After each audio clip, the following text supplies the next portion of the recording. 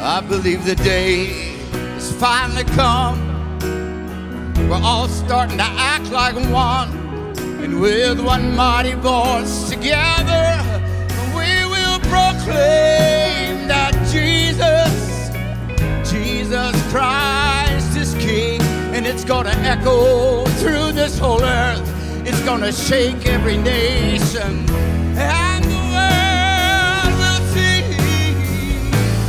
You're my brother,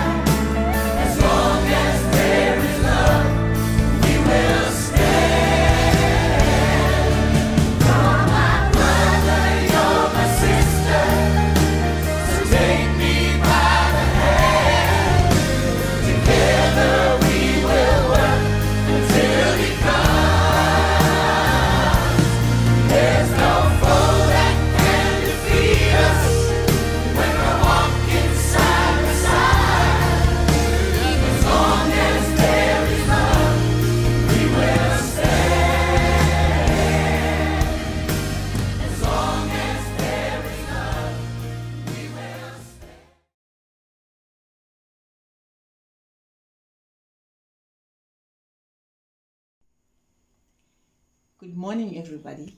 I just want to say a very warm welcome from me, and it's so good to be able to be on to be able to be on this platform and welcome our members from the oldest to the youngest. I want to share something that is that I found so profound when I was reading it. I'm just going to share it to you as part of my welcome. What is luxury? They made us believe that luxury was the rare, the expensive, the exclusive, everything that seemed unattainable. Now we realize that luxury were those little things that we did not know how to value when we had them, and now that they are gone, we miss them so much. Luxury is being healthy. Luxury is not stepping into a hospital. Luxury is being able to walk along the seashore. Luxury is going out on the streets and breathing without a mask. Luxury is meeting with your whole family, with your friends. Luxury are the looks. The smiles are luxury. Luxury are hugs and kisses. Luxury is enjoying every sunrise. Luxury is the privilege of loving and being alive. All this is luxury, and we did not know. May you stay blessed and please be grateful. We thank God that He wants to also encourage us with um, a verse from Hebrews 4, from verse 14. Seeing then that we have a great high priest that is passed into the heavens, Jesus, the Son of God, let us hold fast our profession. For we have not an high priest which cannot be touched with the feeling of our infirmities, but was in all points tempted like we are, yet he was without sin. Let us therefore come boldly unto the throne of grace that we may obtain mercy and find grace to help in the time of need. We are in the time of need where we are always actually in the time of need. But what make, makes this very rare is that we can't see each other that, like we normally do on a Sabbath or on our church gatherings. But until the time we have to see each other, may you stay blessed, remain blessed, and keep safe. God bless one and all.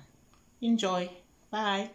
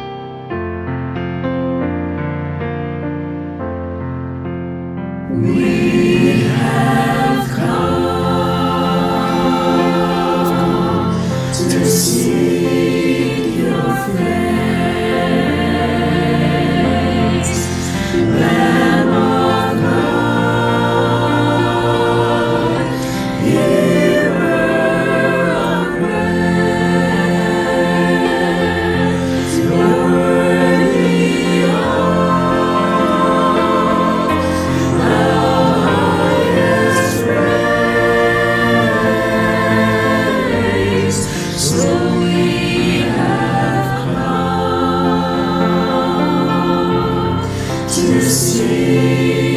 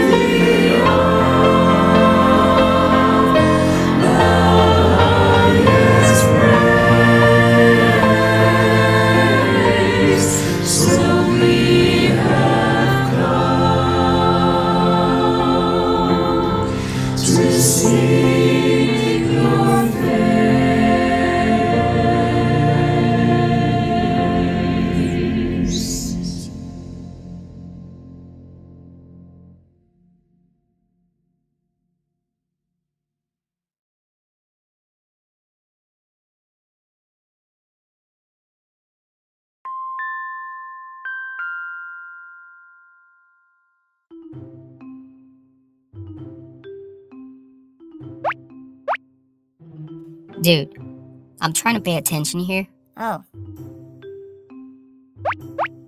What?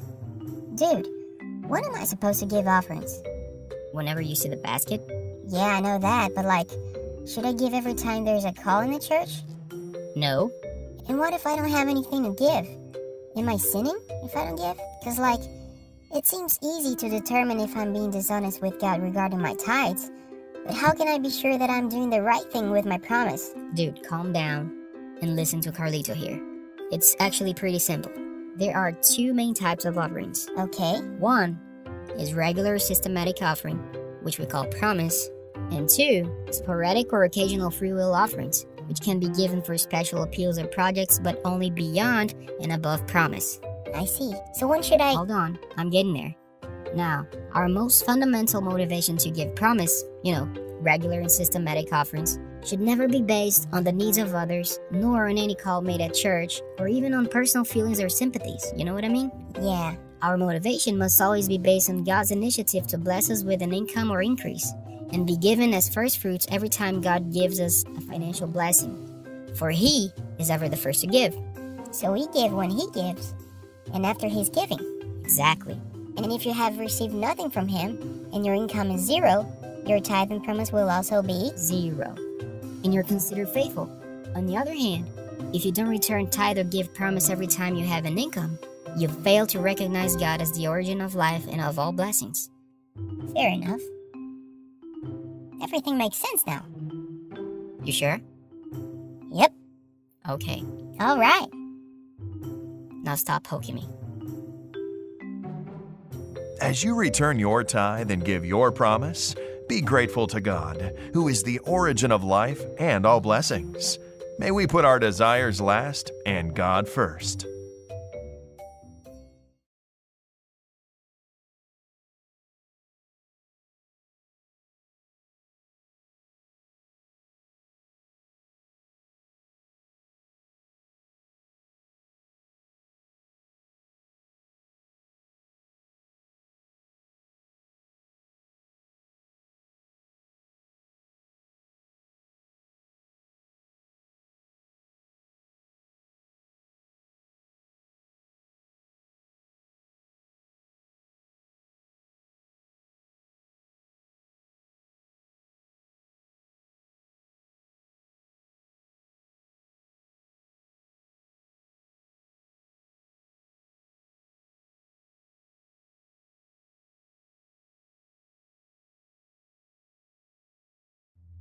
Emmanuel wanted to annoy 13 year old Aggie during a break between French and physics classes at the Seventh day Adventist school in Libreville, Gabon.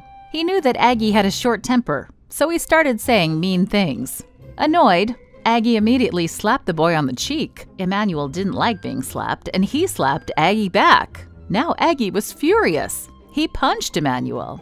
Children crowded around the fighting boys. Don't stop, they yelled. Let them fight. A teacher's assistant came running, causing the children to scatter to their seats. He pulled them apart. Why are you fighting? He was mean to me, Aggie said. He hit me, Emmanuel said. You shouldn't fight. Fighting is for animals. Apologize. As punishment, the boys had to spend two hours away from the other children, quietly thinking about what they had done. It was a long two hours. After some time, Aggie whispered to Emmanuel, Why were you mean to me? I was only joking, Emmanuel whispered back. Aggie wished that he hadn't lost his temper. That summer, grandfather sent Aggie to a Pathfinder campout. Aggie's Bible teacher also went to the campout, and he spoke for morning and evening worship. At the end of the three week campout, he asked whether any children wanted to give their hearts to Jesus. He told them how Jesus could change their hearts. Instead of anger, he could give them peace and love. When Aggie heard that, he remembered his short temper. He remembered how his temper led to fights and made his parents unhappy. He wanted to change and he prayed, Lord, I want to follow you. Then Aggie stood up and went to the front. People were surprised to see him standing. His Bible teacher was happy that he wanted to be baptized. After baptism, when Aggie came out of the river, he felt the same as before. He thought maybe something miraculous would have happened, but everything still seemed normal. But as the days passed, he noticed that he no longer enjoyed many things of the past. His friends noticed that he wasn't easily angered like before. Just the other day, Emmanuel brought some cakes to sell in class, and Aggie didn't want to buy one. I don't want to buy anything today, he said. I'm not feeling well.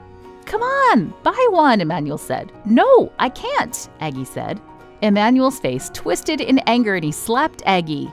But Aggie didn't feel angry at all, and he quietly walked away. He was so grateful that with Jesus' help, his days of having a short temper were over. Jesus was changing his heart.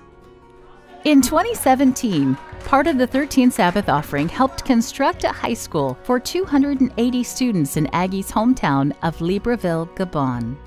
Thank you for helping change lives through the 13th Sabbath offering. It makes a big difference.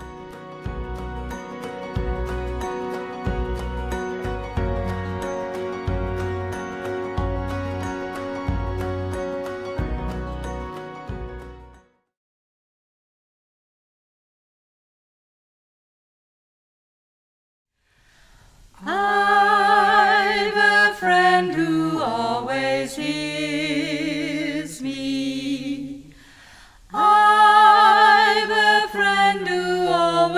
always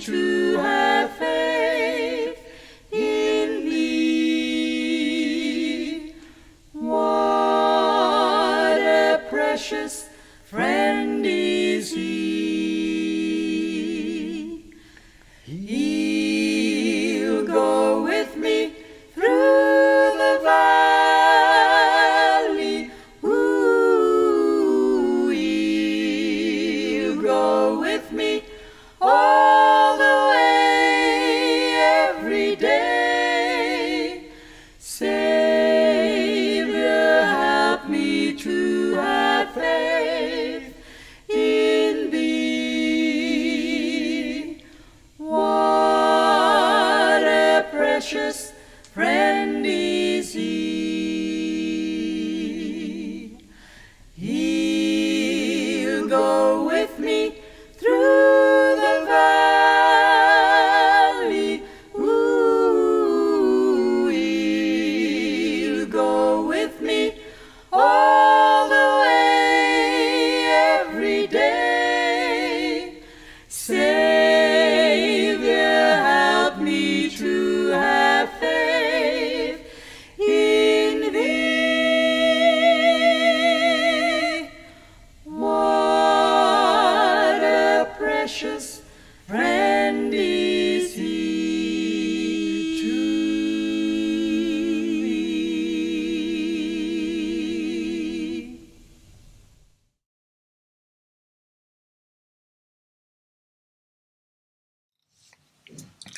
Good morning, Riverside Church, dear members, and also to all those who are watching um, at this time on live or you will watch the video a bit later.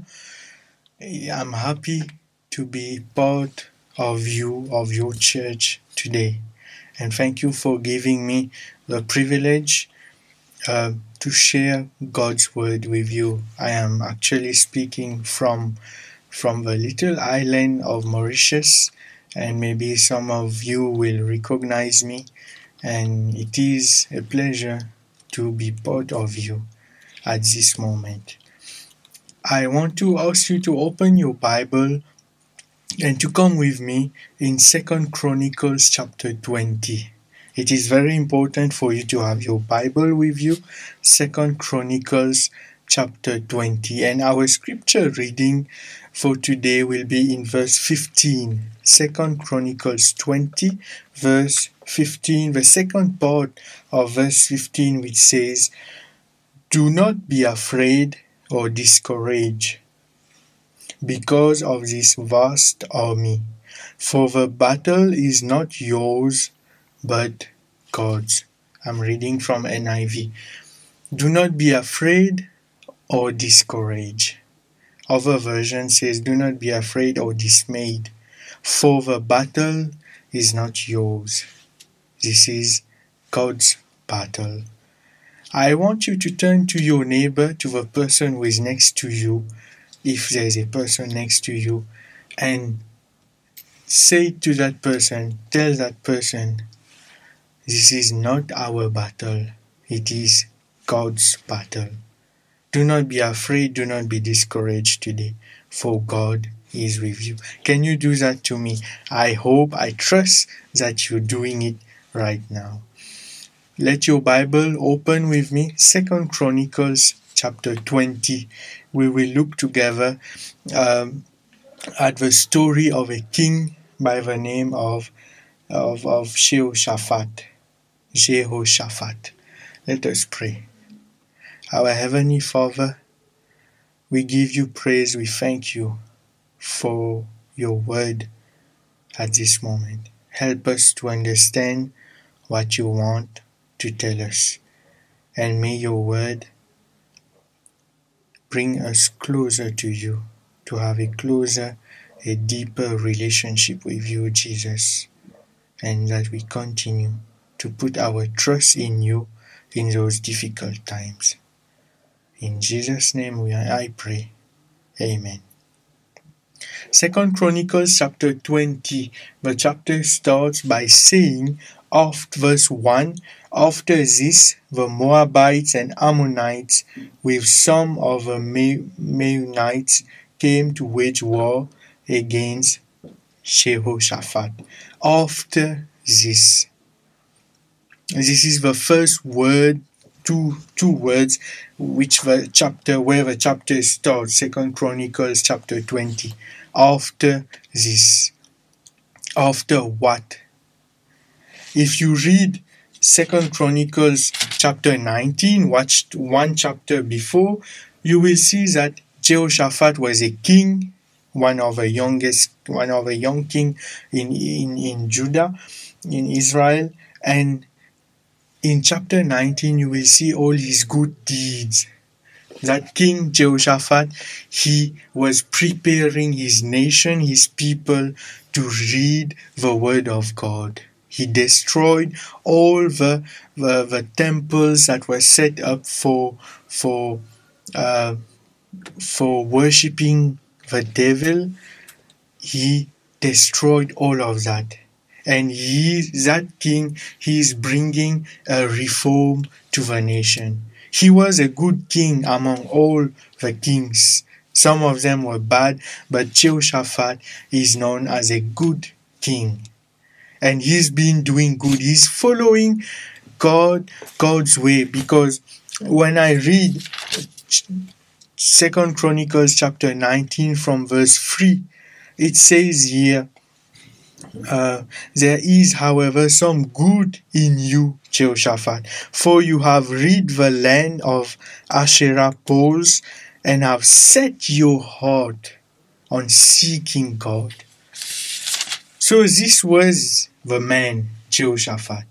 He had set his heart on seeking God and he was doing good. However, when it happens to you as well, when you're trying to go to do good in life, to do a good deed, something bad happen and hit your way. And this will happen in Second Chronicles chapter 20 from from verse 2 he will get the news saying a vast army is coming against you from Edom, from the other side of the Dead Sea. His messengers are coming saying, You know, O king, there's a vast enemy who's coming to attack you. And they are from overseas, they're still coming. From verse 3, I like the rest, what the Bible says of, of King Jehoshaphat. Verse 3 starts by saying, my version says, alarmed. Jehoshaphat resolved to inquire of the Lord. This is a very important word for me when it says alarmed. It, it shows that Jehoshaphat, even though he was a king, he was afraid he did not add he did he he he was not reluctant to admit that he was afraid of a situation. And I like also what Ellen White write of of of, of Jehoshaphat in, in in in the book of prophets and kings saying chapter 15 if you have time you can read it Jehoshaphat was a man of courage and value for years he had been strengthening his armies and and his fortified and fortified his cities. He was well prepared to meet almost any enemy. That guy was well prepared. Yet in this crisis, he put not his trust in the arm of the flesh, not by disciplined armies and fenced cities, but by a living faith in the God of Israel. This is what Jehoshaphat says. It can be that today as well you preparing yourself amidst of a virus that is around you. In fear of knowing that there's an enemy around you who's who's who's going to attack you soon, and you're trying your best to prepare yourself. King Jehoshaphat was preparing his best for all the years. He was strengthening his country. But yet, when he got the news that something bad is going to happen very soon, he was afraid, yes, but he decided to inquire to the Lord, to ask God, God, what must I do? And this is what where I am interested this morning in the prayers that Jehoshaphat will offer. From verse from verse 4, the people of Judah came together to seek help from the Lord. Indeed, they came from every town in Judah to seek him. Then Jehoshaphat stood up in the assembly of Judah and Jerusalem at the temple of the Lord and start by praying. When you read Second Chronicles 20 from verse from verse 6 till verse 12, verse 6 to verse 12, almost six verses, you will find the prayer of Jehoshaphat.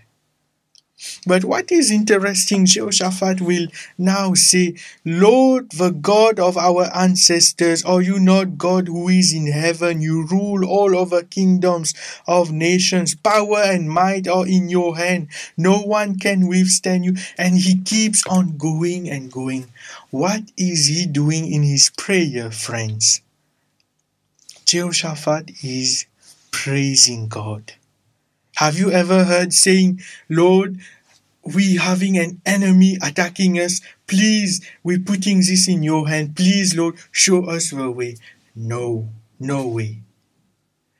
Jehoshaphat, he's start his prayer, his petition by praising the name of God. Lord, you are mighty. No one can, can stand against you. Everything belongs to you.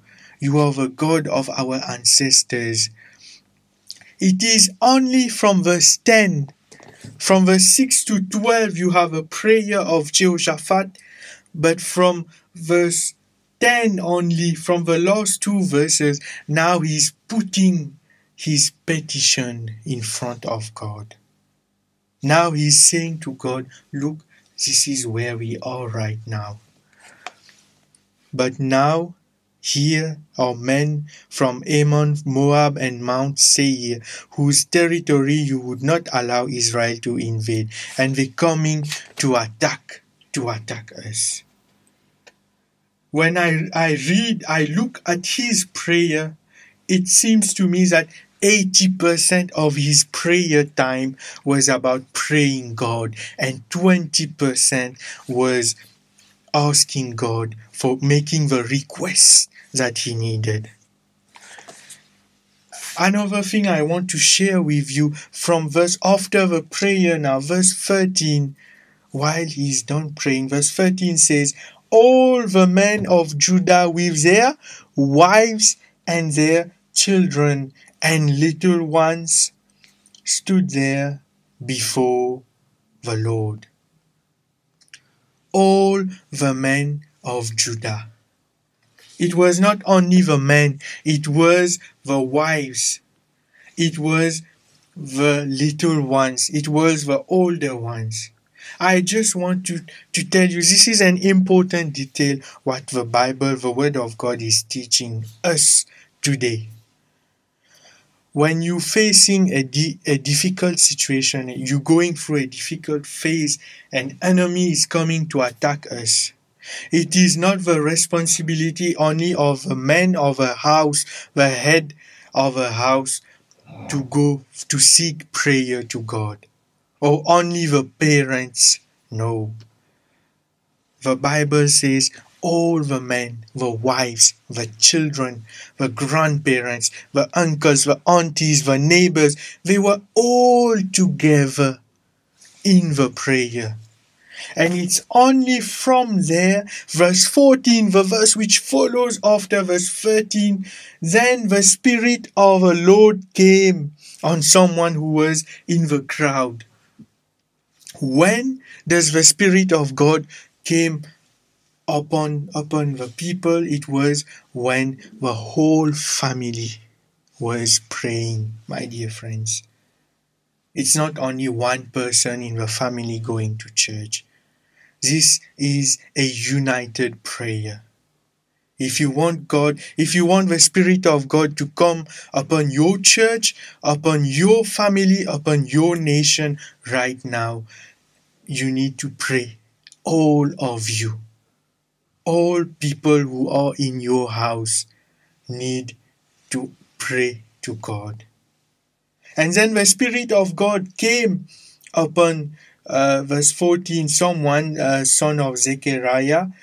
And then there we, we get the verse which, which I read to you at the beginning, saying, Listen, King Jehoshaphat, do not be afraid, do not be dismayed. Why? because you need to understand the battle you're going to fight is not yours. It is God's battle. It is not your own war. Whatever is happening right now around you in Cape Town, in South Africa, around the world, God will fight for it not the doctors, not the scientists, not those who are, not the governments, not the authorities, not those who are trying to find a vaccination. No, it is God's battle. That's what I believe. And then the end of the story, God will say to, to Jehoshaphat from verse, I believe from verse 20, from verse 19 apologies from verse 18 jehoshaphat bowed, bowed down with his face to the ground and all people they start worshipping the lord again so his prayer was worship worship worship worship praising god then we ask you lord please help us. And then worship, worship, worship God, praising God again. And God will speak, and then in, now we're preparing to face the enemy because God says it is God's battle, it is not yours. What will they do? What do you do when you go when you go to war? Normally, I, I try to imagine they trying to prepare their I don't know if they had guns at those times, but whatever weapon they had, they're sharpening it, they're trying to do something, to plan a strategy. But this is a nation who's going to war, and what they're doing, verse 19, then some Levites and, and, and, and Kohat, Kohathites and Korathites stood up and praised the Lord, the God of Israel. Verse 20 Early in the morning they left. As they set out, they have, they, they, they, they, they start putting out choirs, choirs of, of, of praise, praise song leaders, praise team, musicians. They're starting to singing praise. And Jehoshaphat will also remind the nation from verse 20, saying, Listen to me, Judah and people of Jerusalem. Have faith in the Lord your God, and you will be upheld. Have faith in his prophets, and you will be successful. After consulting the people, Jehoshaphat appointed men to sing to the Lord and to praise him for the splendor of his holiness as they went out at the head of, of the army of the army. So they started they appointing people to sing praise instead of preparing themselves for war. So this gave me the idea that from the beginning till the end, they were doing only one thing they were praising God. When I read the story of Second Chronicles chapter 20, this reminded me of my good times that I spent at Helderberg College in, in, for four years, where I witnessed how you people like to sing with magnificent voices and praising God. But I want to ask you this morning do you praise God only when you come to church, when the praise team is singing, or do you praise God in your own personal life, in everything that you're doing every day? Give thanks to the Lord for his love endures forever. It's only as the people began to sing then the victory came, the end of the story. Verse 22 As they began to sing and praise, the Lord set ambushes against the men of Ammon and Moab who were in invading Judah, and they were defeated. They were defeated. It was not by their own strategy, it was not their own battle, it was God's battle. And today I want to remind you that the same God of Jehoshaphat is the same God, Jesus Christ, today, for you and for me and for us. Maybe you are thinking, I'm from here, from Mauritius. I read the news, I listen to the news, what is happening in South Africa because I have my beloved friends who are there. And I keep I always keep an eye on what is happening in your situation as well. Maybe you are afraid because every day cases are increasing. Things are turning bad. People are losing job. Children cannot go to school properly. But I want to tell you this, my dear friends. Do not be afraid. Do not be discouraged. Because Jesus Christ has died for you and for me on the cross. He's coming soon to save all of us. And this battle that we're facing today, it is true, there is an enemy who is coming to attack us. But I want to invite you this morning. Let's start by praising God.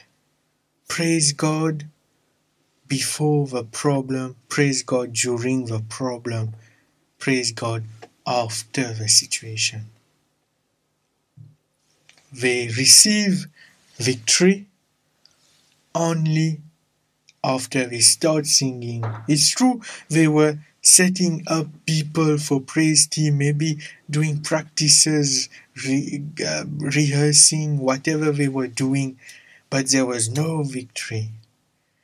Verse 22 The enemy was defeated only when they start opening their mouth and their hearts and their mind to praise God.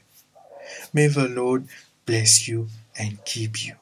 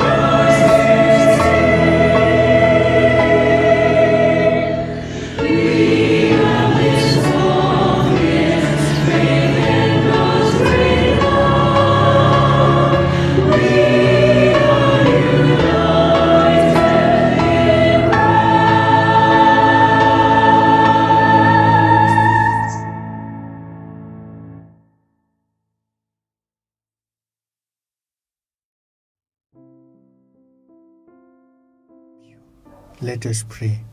Our Heavenly Father, we praise you, we give you glory this at this moment, amidst everything that we're going through, Lord. Thank you for teaching us that we need to praise you in life. Thank you for reminding us that you are still here, very present for us, Lord. Lord, I want to ask you May you continue, may your spirit continue to show us the way because the world is coming to an end very soon. Dear Lord, thank you for reminding us that we are not fighting on our own today, but the war, the battle is yours. And thank you for taking it for you and helping us in our situation. May your name be praised, may your name be glorified.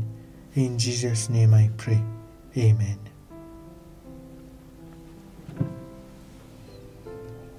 Okay.